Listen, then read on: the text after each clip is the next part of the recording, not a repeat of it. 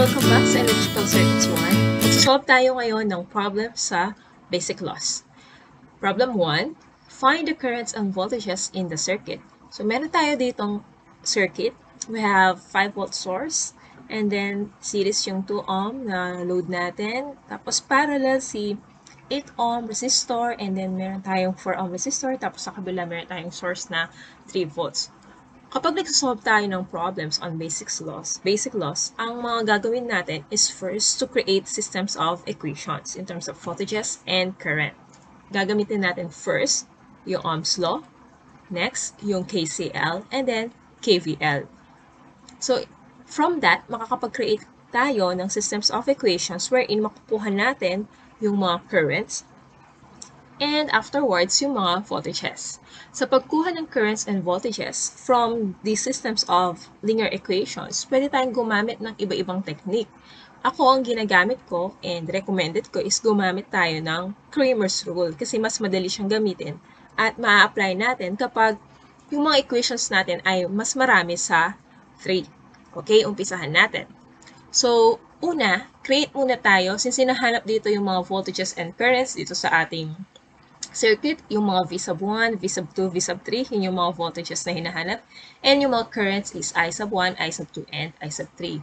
Kung mapapansin nyo, naka-designate na or nakalagay na yung current direction at saka yung mga direct uh, polarity ng mga voltages. In some cases, hindi nakalagay yung mga yan, so ikaw ang maglalagay. So, unahin natin yung application or apply natin yung Ohm's law. Okay, 1, apply Ohm's law. So, lagay ko A na lang to.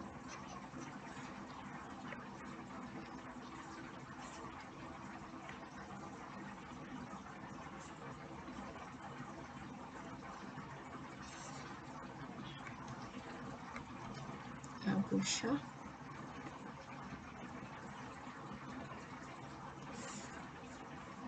Okay. Apply natin ang Ohm's Law. Okay. Sa pag-apply ng Ohm's Law, titignan natin yung mga reference polarity natin, yung direction, no? Kailangan pa rin natin silang sundan. So, V sub 1 is equal to okay, V sub 1 is equal to okay, so that is 2 times uh, V is equal to IR, so that is 2, dadaan na current sa kanya ay I1, so 2 times I sub 1. And then V sub 2 is equal to, okay, positive, negative, so positive. 8 times yung dadaan na current sa kanya, 8 times I2.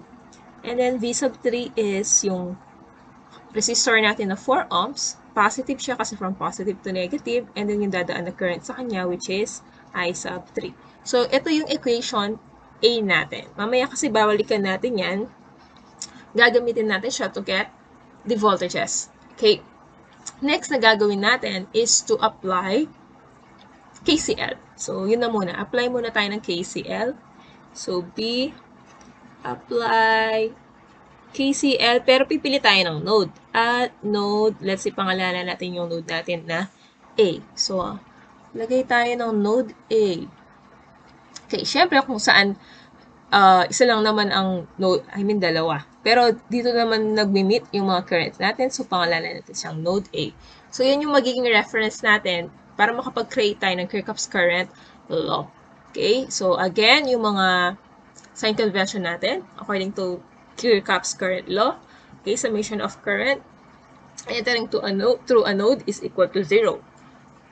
Entering or leaving. So, ito, yung mga entering na lang sa node A is positive. So, I1 positive, tapos yung dalawa leaving. So, I sub 1 minus I sub 2. Okay, leaving kasi si ano eh, si I sub 2 at saka si I sub 3. So, minus I sub 3 is equal to 0. So, this is our equation B. Ayan, kailangan natin mamaya yan. And then, proceed tayo sa pag-apply ng KVL. Okay? Pero, kailangan, maglagay muna tayo ng loop. Okay. Maglagay tayo ng loop. So, ang loop natin ay ikaw ang maglalagay ng direct, uh, ikaw ang bahala sa direction. So, ang nakasanayan ko na or pwede nyo rin gamitin is clockwise. Okay, KVL tayo at loop 1. Okay, KVL at loop 1. So, at 1. Loop 1. Ayan. So, ano yung uh, KVL equation natin? So, this is negative 5 volts.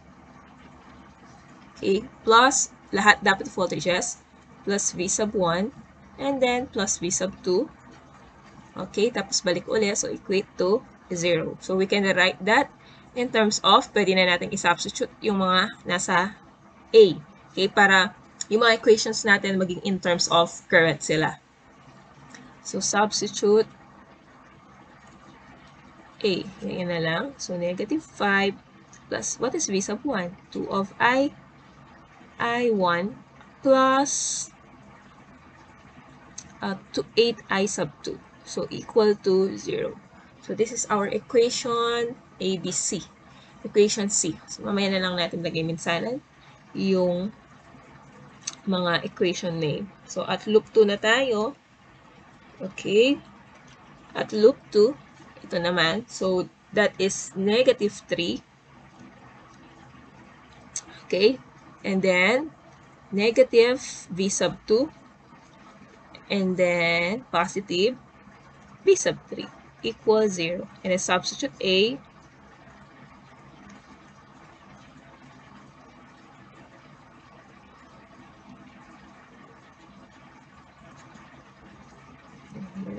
para mas maikse, substitute. Ayan, A uli. So, magiging negative 3 minus I sub 2 is 8I2. And then V sub 3 is plus 4I3. Okay. So, yeah. So, na-create na natin yung mga kailangan nating equations. Ang susunod na gagawin natin is to rewrite okay, yung mga equations natin in terms of a matrix. Kasi, magagamit natin yon para mas mapadali yung paghahanap natin ng mga unknowns. Okay, so write na lang natin.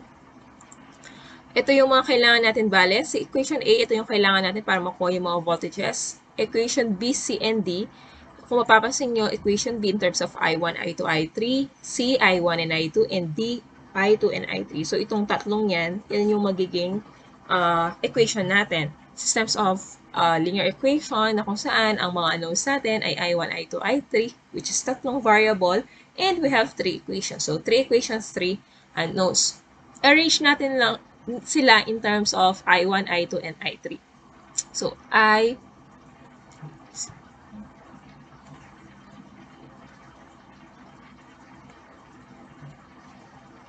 Okay, I1 minus I2 minus I3 is equal to 0. And then yung equation C, ganun din. Um, 2I1, arrange natin.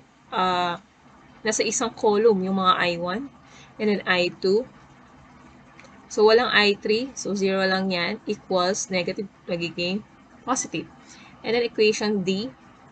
So, walang I1. Meron tayong negative 8I sub 2 plus 4i sub 3 then equals 3. Ayan. So, ito na yung ating uh, systems of linear equation. Yun, i-convert natin siya into into matrix. So, yan, ano na lang natin. Gawin natin siyang matrix. So, that is kunin natin yung mga coefficients muna. Okay, 1. Ito 1. Ito 2. And then ito ay 0. And then ito ay negative 1. Ito ay 8. Ito ay negative 8. And then yung pangatlo is negative 1, 0, and 4. Okay? Tapos, lalagay natin yung mga variable na hinahanap natin. I1, I2, and I3 equals yung mga constants sa kabilang side, which is 0, 5, and 3. Ayan, yun yung magiging basis natin.